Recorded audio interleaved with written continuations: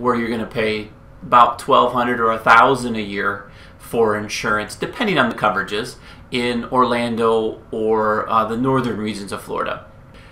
Biggest thing, takeaway, it's not that expensive if you're in different states like Michigan, Detroit. Oh my goodness, that's the highest one, 10,000 a year. Yeah, think about that the thing about Florida with with Florida is those people that live in those counties down south is the